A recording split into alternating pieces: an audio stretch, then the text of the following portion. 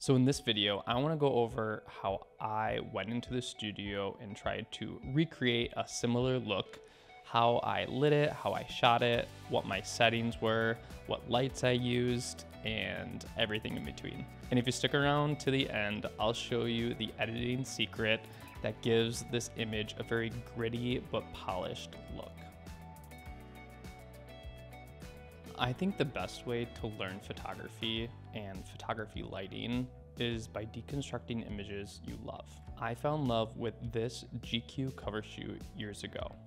Shot by the incredible Jack Bridgland, his work is very edgy, colorful, and nostalgic, all things I love in a photograph. However, I had no clue how this was shot. I wasn't on set with him when he shot this, and trust me, I scoured the internet looking for behind the scenes photos or videos just so I could see a glimpse into how this was shot. But I didn't find anything. Now, I'm not saying this is the exact lighting setup that Jack used in this shoot. However, this is how I would approach a similar shoot and how I try to get a similar vibe with my photo. One thing I did know about Jack is that he likes to use a Profoto Octabox right in front of the model's face, kind of high up and at like a 45 degree angle. So that's where I started. I have a three foot Profoto Octabox that I put on a Profoto D1 and I put it right on my model's face, just slightly above. And this gave really great highlights on the forehead and on the face, and then a nice shadow under the chin. Now, while shooting this, I used a white backdrop but what I had was on the ground to the left side of the model facing the backdrop was another Profoto D1 and this one I put a blue gel on. I hit it at the backdrop at an angle and this gave me a really cool blue gradient on the backdrop. But one thing I noticed is that I needed my model to stick out a little bit more from the backdrop. So what I did was added two more lights. One Profoto D1 with a four foot strip box with grid on the left side of the model, giving just like a nice rim light on his side. And on the other side, I used another Profoto D1 with a 20 inch grid bare bulbed. Now, if I did this again, I would probably just put a four foot strip box with grid on the other side. Now, I love the way it was looking, but the shadows were so harsh and so dark, and I knew I wanted my image to be a little bit brighter. I wanted the model's skin and face to pop even more. So what I decided to do was add a fill light, but not a regular fill light. I used another Profoto D1 and I put a beauty dish on it. And this I put directly in front of the model, about right under their chin, and shot it directly at them. I had it just below my camera. What this did was it gave a lot of brightness and highlight to the chest area, and it lit up that shadow underneath the model's face. Now, the one thing about this setup is that it looks really boring before any editing. If you look at this raw photo, it's very boring. It's not eye catching. It's not colorful. It's not dramatic. It's not edgy.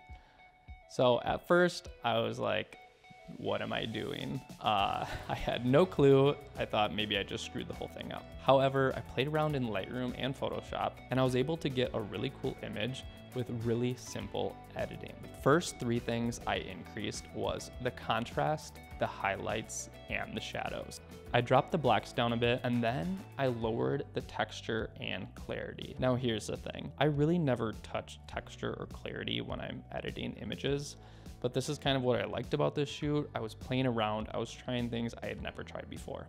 Now, the secret to this image, I believe, is the increased dehaze, if that's how you say it.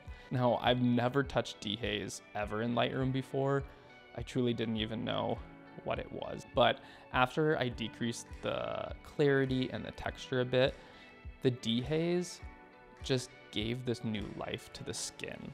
I felt like it made it really polished, but also gritty looking at the same time, and almost gives like a cartoonish look to it. Now, with just a few edits, this photo went from a really boring image to something colorful, edgy, and a lot more contrast. One thing I also did was I took the hue of the blue and I changed it to a purple. Now in the original GQ cover shoot is a blue gradient backdrop. However, in my image, when I changed it to purple, I just felt like it was a stronger image. I liked how saturated that purple looked, and to me it looked a little better than the blue. Now, one thing I always do is shoot both on digital and film. I love my Mamiya RZ67. It's a medium format film camera and I'm still really learning how to use it. So before this shoot, I knew I was probably gonna be using at least four to five lights. So I thought, okay, I'll just use Portra 160. And I'm pretty sure I regret that decision. These images are still cool. I still like them. It gives a really gritty uh, film vibe, very different than the digital images.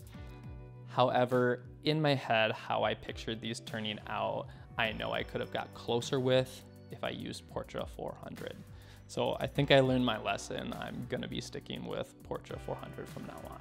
In these film photos, I use the exact same editing technique that I used in the digital photos, in these film photos, I didn't change uh, the blue color to purple. I felt like it didn't look that great on the film and I just kept them at blue just to have something different. All right, that's exactly how I tried to recreate this GQ cover shoot.